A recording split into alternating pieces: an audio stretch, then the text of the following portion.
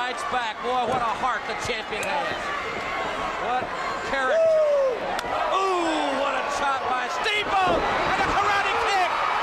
Perhaps it was out of desperation, but what a move by the champion, whose left leg is virtually useless in the ring. Steamboat's got him up.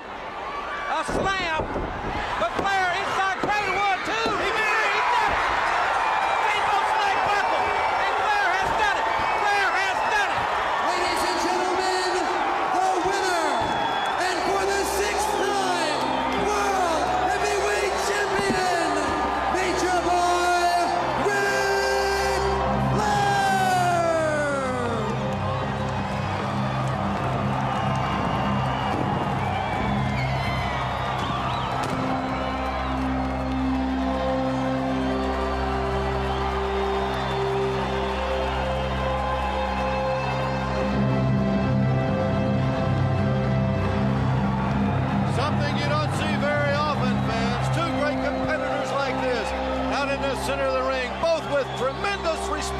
each other. As you saw the champion, the former champion, Ricky the Dragon Steamboat, shake the hand and hold the hand of Ric Flair high. And my colleague Jim Ross in the ring. Ladies and gentlemen, we have seen history in the making here this afternoon in Nashville. For the sixth time, I want to present, ladies and gentlemen, number six, the heavyweight champion of the world, Nature Boy Ric Flair. I think also we have to give credit where credit is due. Ricky the Dragon Steamboat and Ric Flair both competed in one of the, the greatest matches that any of us, I think, have ever witnessed. Champ, congratulations. Thank you very much. Not in character for Ric Flair, but Rick Steamboat is the greatest champion I've ever faced. And I'm proud to be here for a sixth time. Hey, Rick, I want to be the first to congratulate you on being the new world's champion. Terry, thank you very much.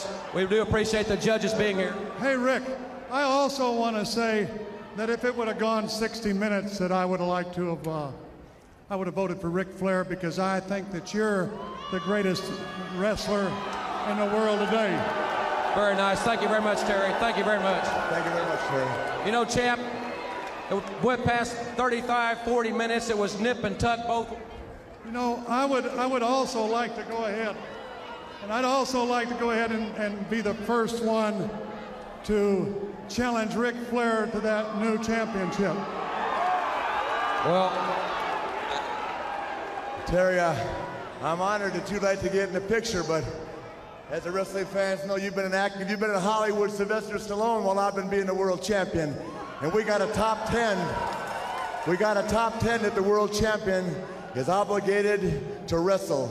And that's why we are number one. Wait a minute. Wait a minute. Are you, are you really saying that uh, I'm not a contender? No, what I'm saying, Terry, is that you are a great wrestler, but right now you're rubbing shoulders with Sylvester Stallone and not the world champion. No, no, no, no. I was just asking. You think that uh, You I'm are not good enough? You're saying that I'm not good enough, aren't you, Rick? I'm not saying that at all, Terry. Yes, you are. If you want me to look you in the eye and tell you that I got a problem with wrestling a guy that's been out in Hollywood for five years, it's the bottom line, bud. I'm looking at the top 10, and you're No. not in the top 10. No, Rick, Rick, Rick. Let me conclude this by saying thank you. I'm honored, everybody. Win, lose, or draw, Ric Flair. Rick, please, please let me just say one more thing. I was, I was just kidding you about going ahead and, and, and wanting to challenge you. I didn't want to really challenge you. I was just kidding you. So, Ed Gummit, let's go ahead. that was beef. Yeah. Thanks, guys. Hey!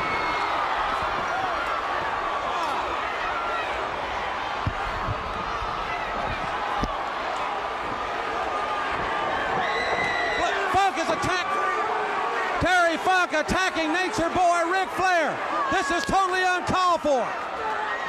Taking him outside the rail. Terry Funk is a man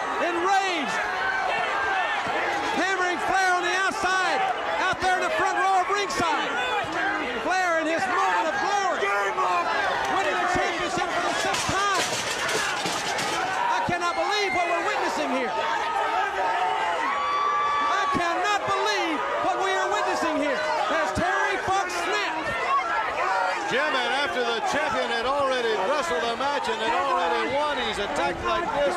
A sneak attack by Funk. He just slammed him face first into the, the table that the judges were using. Flair has just wrestled almost 40 minutes. He's fatigued. And look at Funk slap him in the face. This was Flair's moment. Oh my God! What? He's not going to power drive him on the table. No! He's got him up. Oh God!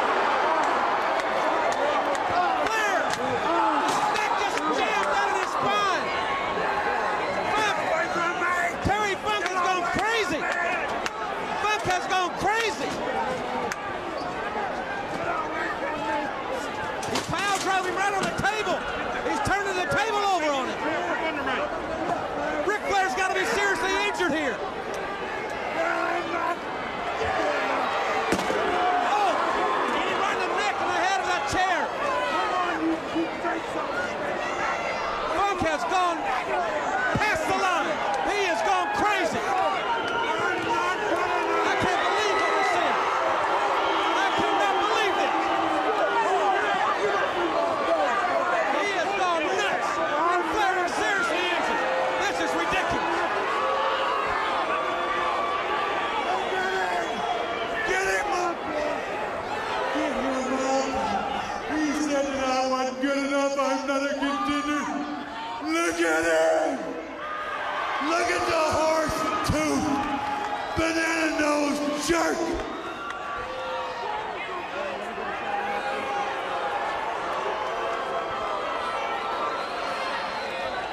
And the wild man, Terry Funk, who went absolutely berserk, Jim, into the ring when you were having, I thought, was a decent conversation between the two. The guy went completely berserk. He's mad.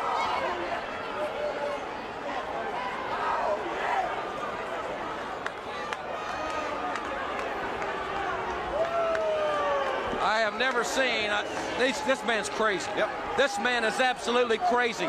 But the most important thing right now, I don't care about Terry Funk. I care about the heavyweight champion of the world. And I cannot believe this. We're going to show, I'm told, what we're going to see uh, uh, again. Now look at this. He is on the timekeeper's table.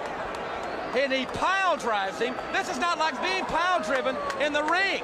This is pile driven on a hard surface. Look at his neck just cracking and turning underneath that pressure. The table turning over on him. And Flair is in tremendous pain here. And as we are speaking, we're going to see. Look at this man, Bob. fine, here's where uh, Funk really goes berserk. He gets a table, he tries to grab it, he tries to slam it all over Flair. Then after he drops the table down across him, he's going to get the chair and go after him. He's a wild man at this point, Well, completely out of control. Well, keep it. Now look at this. Flair's neck just snapping from the pile driver. Now watch this. Right across his head. Right across his neck. This was ridiculous. Well, ladies and gentlemen, uh, Pedicino standing by with Nikita Koloff. Let's go there now.